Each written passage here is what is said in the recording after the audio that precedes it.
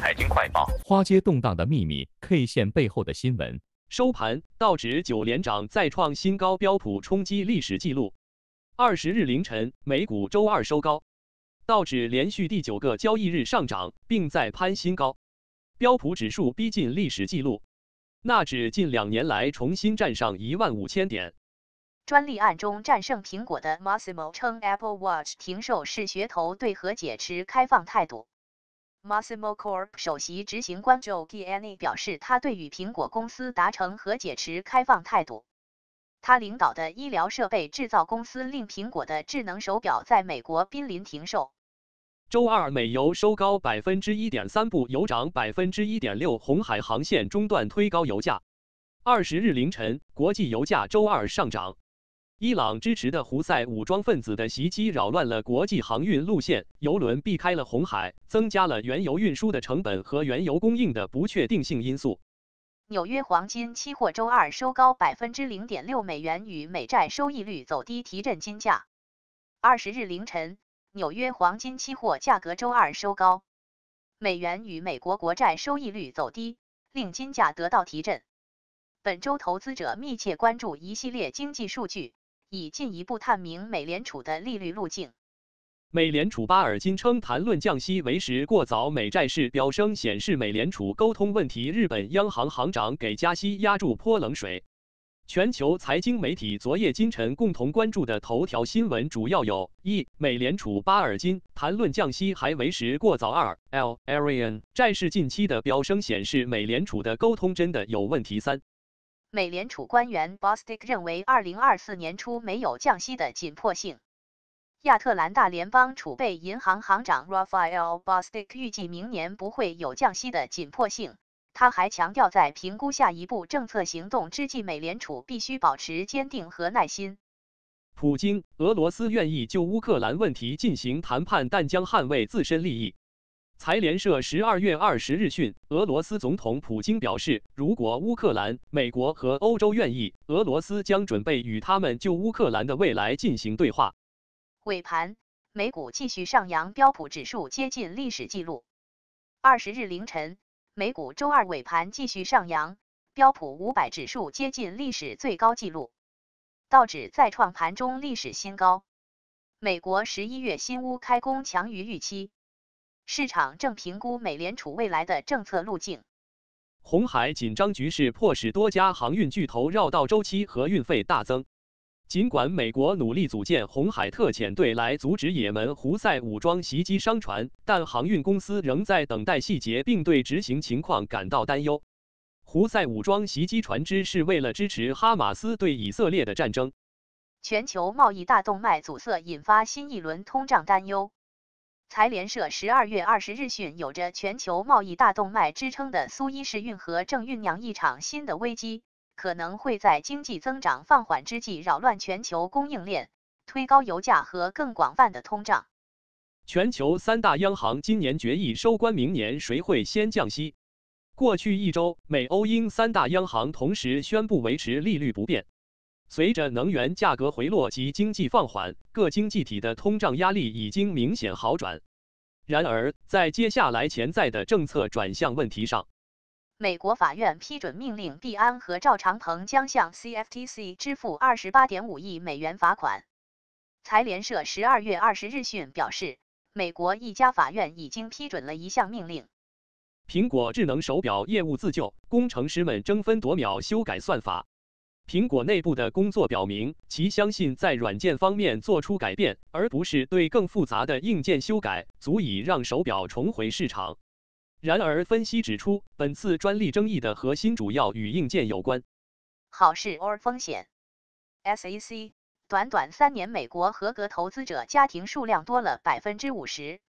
财联社十二月二十日讯，美国证券交易委员会在最新报告中表示。受到美联储大水漫灌以及个人养老金普及的影响，过去几年里，美国证券市场的合格投资者出现了少见。午盘，道指涨逾二百点，刷新盘中新高。二十日凌晨，美股周二午盘走高，道指再创盘中历史新高。美国十一月新屋开工强于预期，市场正评估美联储未来的政策路径。交易员压注明年将降息。VR 市场仍然不断萎缩，Meta 和苹果能否逆势崛起？财联社十二月二十日讯，根据研究公司 Circana 的数据，截至十一月二十五日，二零二三年美国 AR 和 VR 设备的销售额暴跌近百分之四十，至六点六四亿美元，这比去年的降幅要大得多。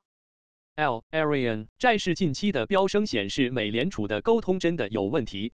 剑桥大学皇后学院院长、专栏作家 Mohammed Al Arian 认为，美联储最近一次会议之后，债券市场的飙升提供了一项关键信息，显示美联储在沟通方面有问题。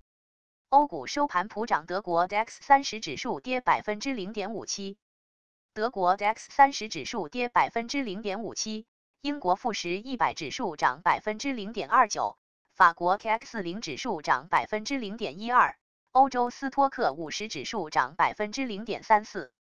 日本央行行长植田和南给加息压住泼冷水，日元对美元跌超百分之一。此前，日本央行行长植田和南对短期内加息的压注予以反驳，称难以制定出政策退出计划。日元一度跌百分之一点三二，至一美元兑一百四十四点六七。一百二十亿欧元遗产争夺战。慈善机构反对五十一岁园丁成为爱马仕继承人。爱马仕帝国的第五代继承人 Nicholas Booker 没有子女，他正在寻求收养他的中年园丁为继承人，准备将约一百二十亿欧元财富中的大部分留给此人。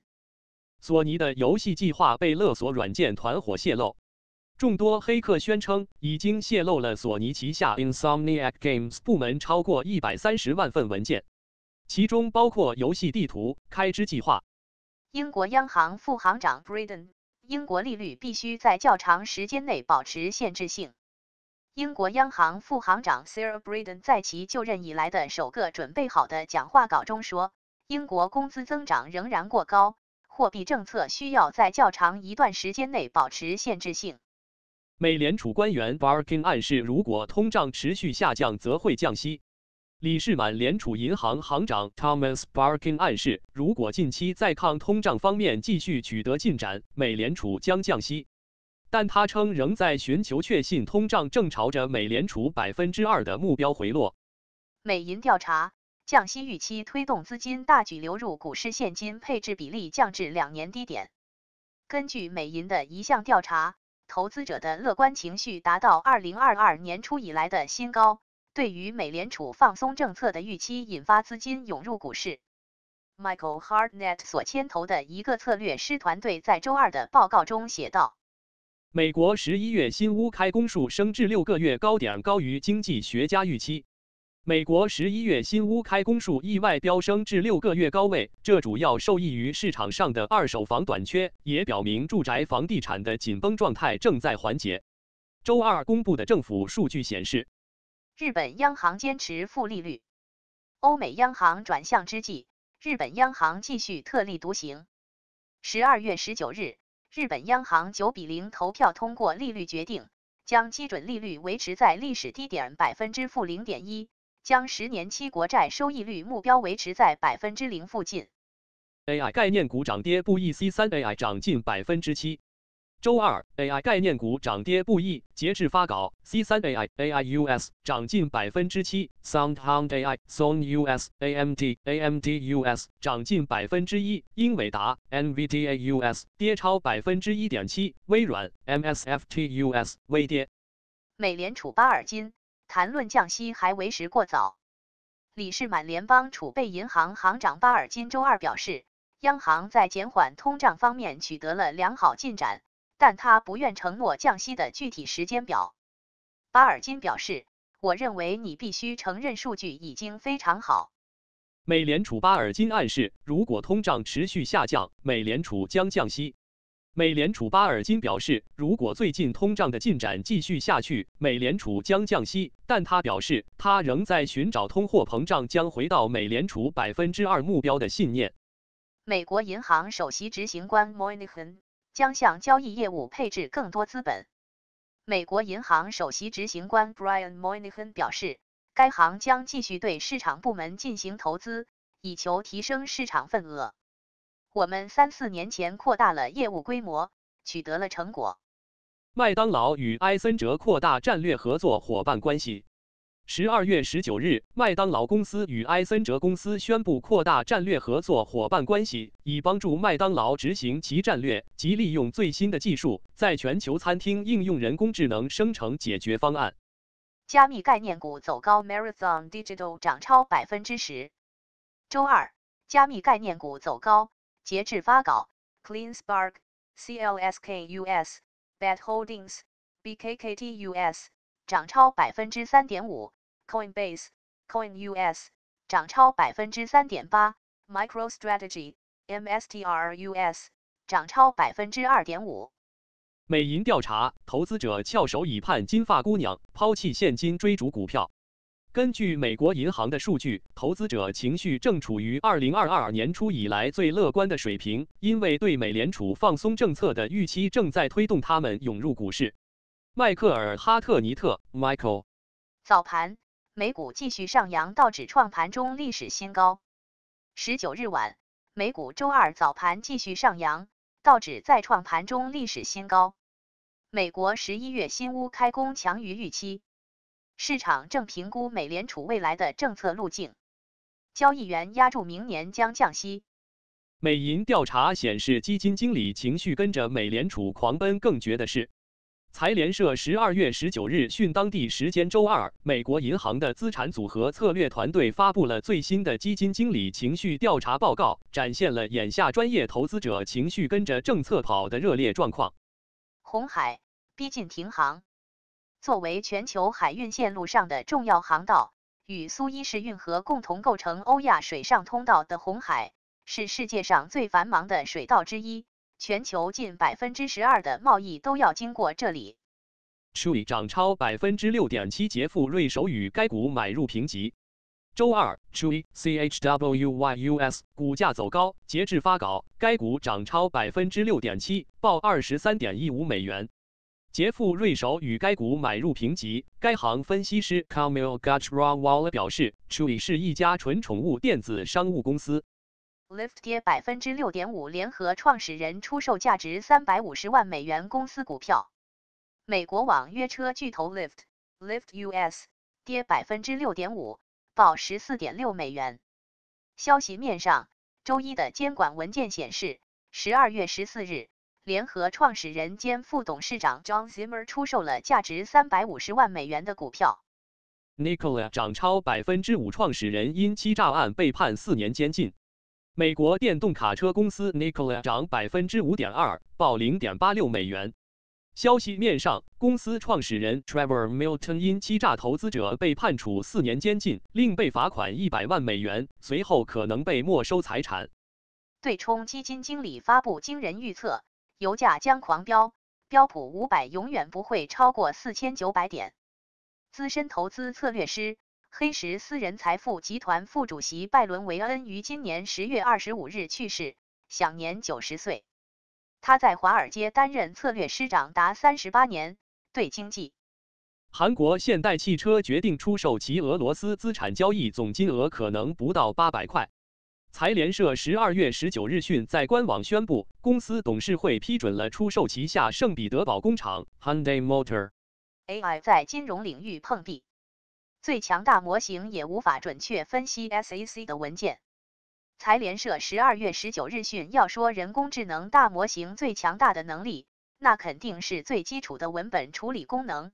但一家名为 Patronus AI 的初创公司的研究人员发现。毕马威，英国经济进入二零二四年步履维艰，前景暗淡。毕马威表示，英国经济将步履蹒跚地进入二零二四年，前景暗淡。毕马威在其最新的全球经济展望报告中表示，尽管英国二零二三年的经济活动超过了预期，但前景仍然疲弱。开盘，美股小幅高开，市场关注联储政策路径。十九日晚，美股周二小幅高开。主要股指延续了最近的上涨趋势。美国十一月新屋开工强于预期，市场正评估美联储未来的政策路径。比尔盖茨，AI 将加速创新，会改变教育行业。微软公司联合创始人比尔·盖茨今日赞扬了人工智能的革命性属性，并对 AI 对世界的潜在影响进行了预测。盖茨表示，在过去的一个世纪里，RBC 策略师 c o v c i n 料美股近期面临回调风险，投资者过去几周一直在大举买入美股，以至于回调风险现在亮起红灯。RBC Capital Markets 策略师 Lori c o v c i n 周二在报告中写道。标普五百指数涨势短期暂停的风险已经上升。加拿大十一月通胀率保持在百分之三点一，高于经济学家预期。加拿大十一月份通胀率出人意料的保持稳定，给了央行将政策利率维持在二十年来最高水平的又一个理由。加拿大统计局周二宣布，十一月消费者价格指数同比上涨百分之三点一。